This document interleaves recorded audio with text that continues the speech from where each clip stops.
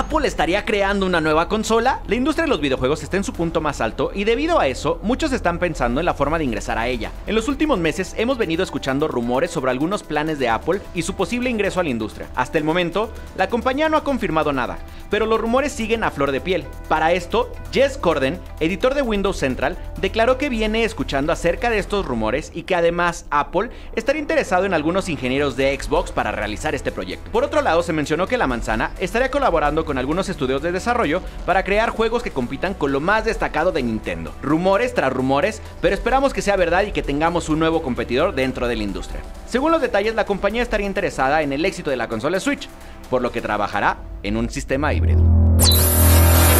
Warzone 2 entre todos los movimientos que se vislumbran en la compañía, parece que se viene un Warzone 2 para el 2023. La inminente compra de Activision Blizzard por parte de Microsoft en una increíble cifra cercana a los 70 mil millones de dólares disparó rumores e inquietudes de todo tipo respecto al destino de varios de los juegos implicados en esta adquisición. Call of Duty fue uno de ellos y algunos informes ya apuntan a que Warzone 2 llega en el 2023. Un reconocido usuario que suele filtrar información interna de Call of Duty, Tom Henderson, fue el que lanzó la bomba, tomando como base algunos emails a los que tuvo acceso y un informe de Bloomberg. Según Tom Henderson, Warzone 2 sería una versión totalmente nueva e independiente de Call of Duty Warzone, sin progresos salvables, sin armas en común, nada de lo que ya conocemos se mantendría. Aunque la información todavía está fresca y Henderson tuvo acceso a una parte, lo cierto es que Activision lleva tiempo trabajando en un posible Warzone 2 y su llegada en el 2023 es una posibilidad muy concreta.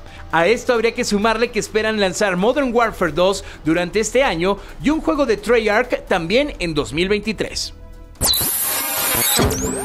UFL ficha a Cristiano Ronaldo y muestra su primer gameplay. UFL nace para hacerle cara a los titanes del fútbol de eSports y Konami y su más reciente fichaje es el mismísimo Cristiano Ronaldo. Pasa a ser el abanderado del nuevo juego de fútbol. Un juego bajo una premisa muy específica, ofrecer una experiencia fair to play en consolas actuales y de nueva generación, en la que se asegura que lo gratuito no estará reñido con un sistema de progresos justo para el jugador. UFL llegará a consolas a lo largo del 2022, reteniendo la misma promesa hecha durante su anuncio. No saldrá hasta que realmente esté listo.